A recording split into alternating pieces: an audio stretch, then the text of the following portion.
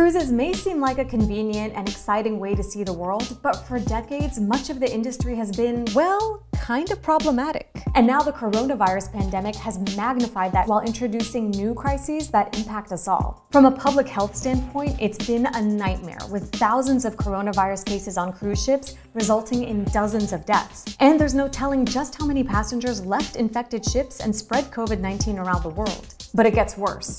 As of mid-May, tens of thousands of crew members remain stuck on cruise ships. Some have even died by suicide. Some crew members have passed away. On other ships, they've um, they've gone overboard, which is just heartbreaking to hear. I'm on board and against my will. I have no contract. All my rights were violated. But despite all that, big cruise companies seem to be getting preferential treatment from the Trump administration. And the largest cruise line, Carnival, is already making plans to set sail later this summer to the delight of hardcore cruisers. We love cruising and we're not going to stop cruising. Hey everyone, I'm Dena, and this is Checked In from Home. And today I'm asking, why would anyone ever get on a cruise again? And is it time to finally cancel the cruise industry? Even before coronavirus, another virus regularly plagued the industry. More than 400 passengers and crew got sick last month after an outbreak of the norovirus. Another norovirus outbreak aboard a cruise ship. Another case of norovirus. Something of a gastrointestinal nightmare. And you may have heard about these scandals too. Sexual assault is the number one crime on cruise ships. The Costa Concordia ran aground off the coast of Italy, killing 32 people. More than 4,000 passengers were stranded on board what is now known as the Poop Cruise. And that is why I've never taken a cruise. But over the years, none of that has seemed to sink the cruise industry. Instead, it's been booming. More than 28 million people took a cruise in 2019, and this year was supposed to surpass that. More millennials than ever were getting on board, with companies catering to them with things like Instagrammable photo ops, tattoo parlors, and even escape rooms. But as we're learning, some of these cruises have become real life escape rooms for the crew members trapped on board being away from people that I love in this really scary time in uncharted territory. It's just, I just want to get home. We'll hear more from the crew members we spoke to later, but first, here's what you should know about the cruise industry. There are three big players Carnival, Royal Caribbean, and Norwegian. Together, they make up more than 70% of the global cruise market with a combined revenue of $38 billion in 2019. And they're notorious for doing whatever it takes to maximize their profits. For example, even though those three companies are headquartered in the US, their businesses are strategically registered in other countries. Norwegian is registered in Bermuda, Royal Caribbean in Liberia, and Carnival is registered in Panama. This allows companies to dodge US federal income taxes and abide by other countries' lax labor laws. In fact, crew members have reported working grueling hours with no overtime pay for sometimes as little as $450 a month. And then, of course, there's the havoc these companies have wreaked on the environment. For years, authorities around the world have fined cruise lines for things like illegal dumping and polluting. And then came coronavirus. The first cruise to make headlines during this pandemic was the Diamond Princess, owned by Carnival. Passengers of many nationalities are still stuck aboard the Diamond Princess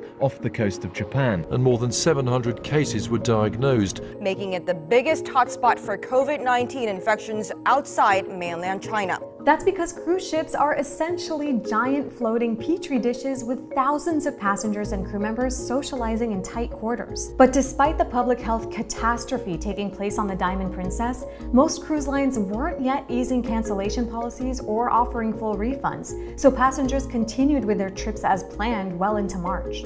In fact, over 100 cruises still took off after the first US coronavirus death linked to a cruise ship, even though those companies were aware of the risk.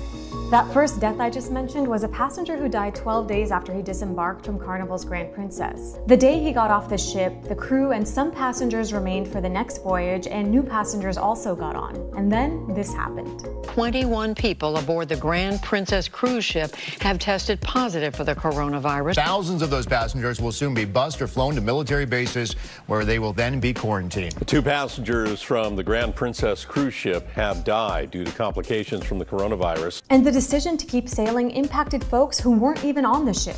The first COVID 19 cases in Hawaii, Utah, and Alberta, Canada were all believed to be former passengers of the Grand Princess. In fact, early on in the pandemic, nearly a fifth of all COVID 19 cases in the US were linked back to cruise passengers. Norwegian and Royal Caribbean didn't respond to our request for comment, but Carnival defended their actions in an email to AJ Plus, saying they stopped operations well before most countries or other states took any such action, and before most other venues and events were closed in the US. At the same time, another cruise line, Norwegian, may have actively downplayed the virus to keep customers booking. Customers were told one liners, things like, the only thing you need to worry about for your cruise is do you have enough sunscreen?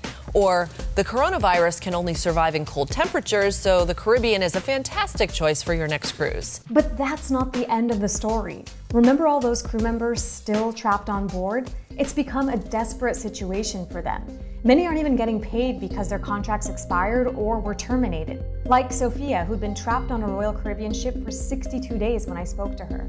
I feel kidnapped because I'm retained here against my will. I stayed on board because they decided to keep us on board. We spoke with several other frustrated crew members, some who didn't want to go on record for fear of losing their jobs, but many say they're struggling to cope. Having not touched land since I think it was the 12th of March is very mentally exhausting. It's not, it's like there's no life on board anymore. We're all just wanting to go home. Crew members on one Royal Caribbean ship are protesting, while on another ship, workers are staging a hunger strike.